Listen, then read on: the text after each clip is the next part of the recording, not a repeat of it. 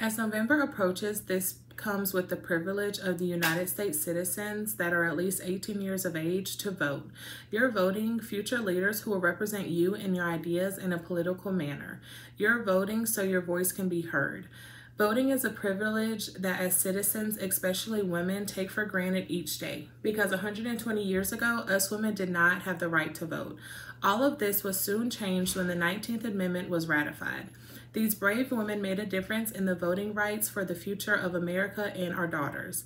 But how? My name is Jaliyah Black, and I am here to tell how us as women gained our right to vote. In this speech, I will be talking about how women have gained the right to vote and just exactly what they did. Furthermore, explaining how it affected not women, but society as a whole.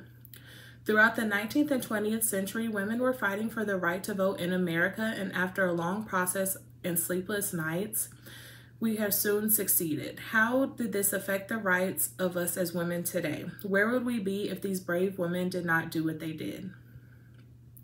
Life before the 19th Amendment was simple. Women's responsibilities were to take care of the home, children, and feed the family. Men, on the other hand, were expected to work and bring home the money for the house. Women had little to no rights, including the right to vote.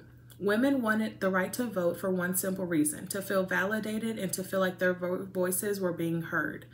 Not only that, but men in the 19th century had a serious drinking problem. The women were tired of alcoholism and wanted to do something about it, but they couldn't without the privilege that they have today. Women earned the right to vote by undergoing over 70 years of rioting, protesting, and series of campaigns. We wouldn't have this right today without the women's suffrage movement. The 19th Amendment was passed on June 4, 1919, and then ratified on August 18, 1920. But how has this affected women today? This has affected women today because now we are now we have the able to right to vote, along with other equalities, a few being owning property, having the right to control our wages, and being able to go to a higher education.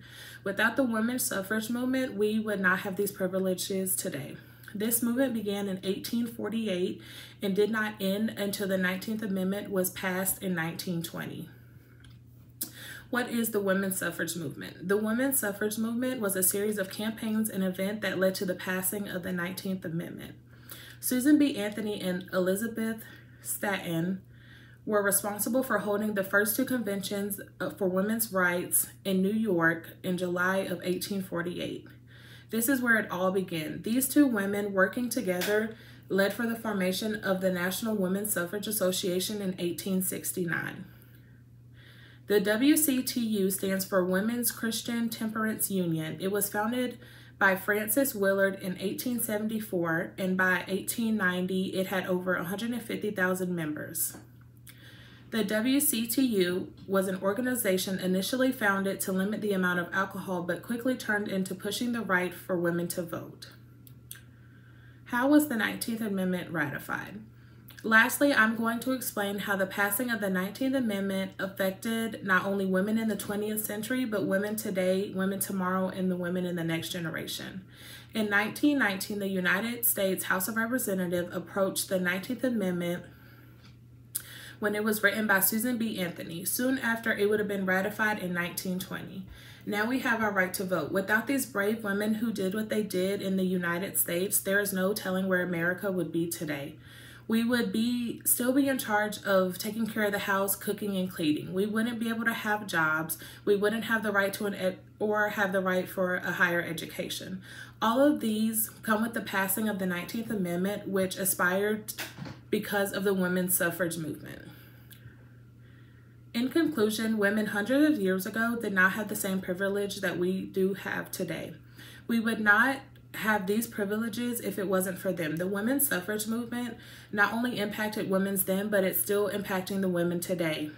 Without these brave women undergoing over 70 years of rioting and picketing and being denied equality over multiple occasions, we wouldn't have a voice that we do us as women wouldn't be able to choose the leader who represents us in a political manner. So the next time you're in a car or on your way to the voting office, just remember that we are where we're at today because of the women back then.